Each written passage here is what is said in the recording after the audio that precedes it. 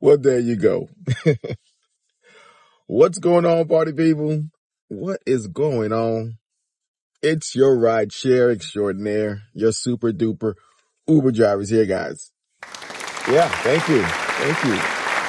You guys, you already know the deal. Before you hop in my ride, do me a favor, hit the like, hit that subscribe. Por favor. Come on, let's do this. Hop on in, buckle in, and let's go. Okay, okay, party people, welcome back. And if you're new to my channel, thank you for hitting that subscribe button. All right, Kim folks, what are we talking about today, folks? And man, oh man.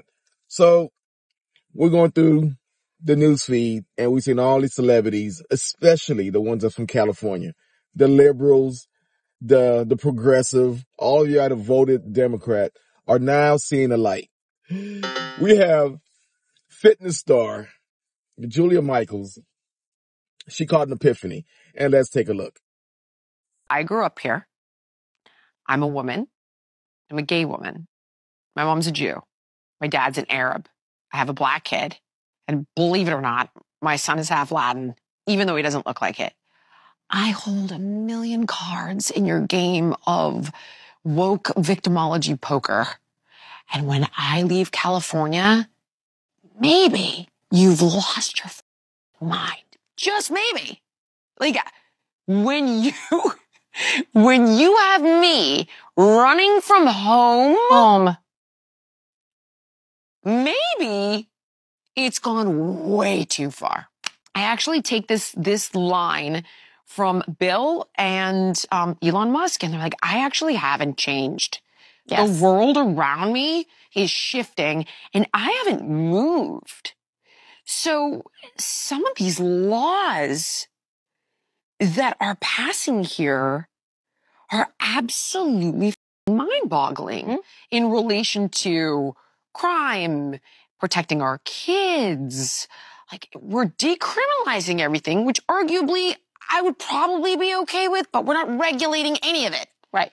I, I mean, I could be liberal. I could go there with you, but it, yeah, I, I grew up this way. But when it's like, oh, and then what we're going to do is we're going to pass a law for LGBTQ rights so that 24 year old men can sleep with 14 year old boys and not have to register as a sex offender because it's just not fair to the gays. I'm like, I'm, what? It's what? Like, I don't know if you saw that one. That was like, I think early 2020 when they passed that law. Mhm. And it's, so I was like, if a 24 year old man touches my 14 year old son, Oh. I, I will get a gun and Yes. take matters into my own hands. Yes. Like, are you kidding? Or the fact that a 12 year old child can be put on off label cancer drugs Mm. to irreparably change their body. Again, if my son came to me and said, Mom, my daughter, I think I'm trans, I'd say, okay, you know, like, you want to dress this way? You want me to call you whatever the heck you want me to address? Uh, fine. Explore it. I love you. I'm cool. Like, do you as long as we're safe. But we're not changing your body until it's fully developed. I'm sorry. Conversation's over. Can't get a fucking tattoo. Exactly. Are you crazy? It's insane. Like I, I I'm I I just can't it's it's madness. It's madness to me. Yes, Jillian, it's madness. Yes, it's madness. Perfect tagline. It's madness. Yeah. But you voted for this. Uh huh. 10, 15 years ago, we was trying to warn you folks not to do this. It's going to push your envelope. You keep pushing. And now we're here. And now, now that you have a son and now you're having second thoughts, it's too late. It's too late. Now you want to fix something. Now you want to move out of California and what? Go to Texas and so you can vote Democrat? No! Yeah. It's too late. Fuck. You people already ruined it. You ruined it. And now we got this big problem here that we cannot put the toothpaste back in the tube. It's well out there. Pandora box is boom, wide open because of people like Jillian Michaels and the, and the likes of her. Let's be honest. Those folks. Yeah, love is love. And those evil Republicans, those evil conservatives, we've been saying this from the beginning. No, but no, you don't want to fucking listen to us. And now all you celebrities, all you liberals out there are starting to say the same thing. What? Even Dylan Mulvaney, whatever that person name, whatever this, this one here. Yeah. No. She's about to get canceled too. They got tired of her nonsense.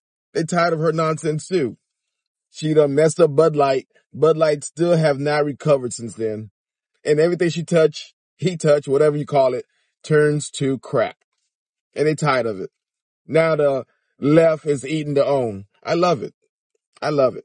So everyone is finally canceling Dylan Mulvaney. Fucking finally. I have been trying to tell you guys about this person for the longest time, but whenever I say it, I get labeled as a certain word that I can't say on this app. Everyone is calling Dylan Mulvaney a massive hypocrite now that I know. People are finding it very suspicious that this woman right here has grown her entire account based off of promoting women's rights, saying the significance of women, how important women are for her, and of course, recognizing the struggles that women have to go through on a day to day basis. She's actually won, I swear, Woman of the Year for this. However, when it comes to speaking about the women in Palestine who are having to use tent scraps because their periods are coming, or the women in Congo who are aggressively and systematically getting raped, she's quiet.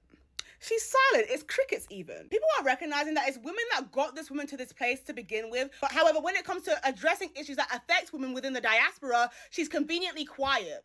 Yeah. Mm.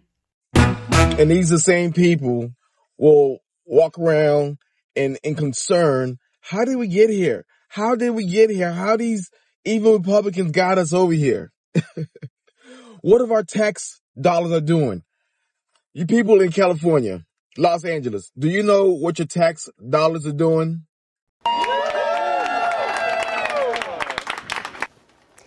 LA City Council members Hugo Soto Martinez and Nithya Raman were on hand today to help remove the signs. They say the no cruising and no U turn signs were put up in the 1990s to prevent people in the gay community from meeting up with other gay people. I was also surprised that these um, these U-turn signs were still uh, up. And at first, you know, they seem a little. Um, oh, okay, it's just a no U turn sign. But when you learn the history of it and you realize that these were used to profile gay people, it's so important that we have these removed. The LA City Council members say the signs were put up after the gay community began to grow and because there was a gay bar. There you go. Homophobic U turn signs. Did you see one of the guy name? His name was Maybe a Girl. yep. So that's your priorities over there in California. Yeah. So again, I don't know why all these celebrities are starting to jump ship. You voted for this, especially if you are a, let's be honest, you voted for this. I've been saying this from the beginning that most of our problems come from quite, let's be honest, women. Yeah. All of, most of our problems, most of our debt, all of this come from that side of the community, especially if they quiet. No. Cause you know, once the quiet people start crying, quiet women, when they start crying and carrying on, the, the, the simp men come to their rescue. Black, white, it doesn't matter. Once they start crying about something, their hair is all over the place, you come to their rescue.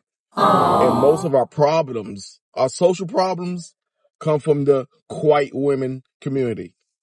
Let's be honest. Those No. folks. Mm-hmm. I said it.